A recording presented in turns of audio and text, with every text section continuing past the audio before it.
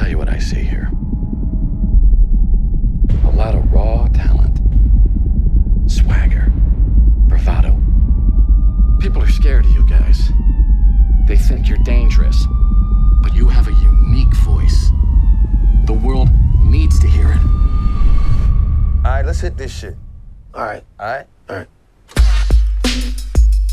Spinning records ain't paying none of the bills around here. What you talking about? I get paid. $50, Andre. You think that makes you rich? It's a start. Hey, Q, what you a poet now? The flyest one you know, nigga. You got them rhymes? That hard shit. You know that's all I do. I got a cold ass beat. That hardcore reality rap. So what you talking about doing? Cruising down the street in my 6'4. Hey, that was dope, eh? That shit was dope, man. You a genius. What's NWA stand for anyway? No whites allowed? Something like that?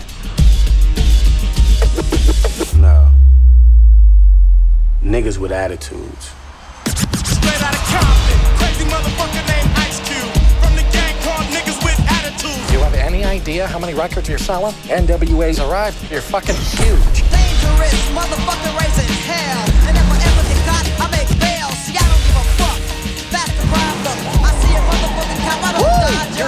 they glamorize gangs and drugs. Our art is a reflection of our reality. The Rodney King beating was a shocker. Guys like you change shit like this. This is a threat, guys, from the federal government. Speak a little truth and people lose their minds.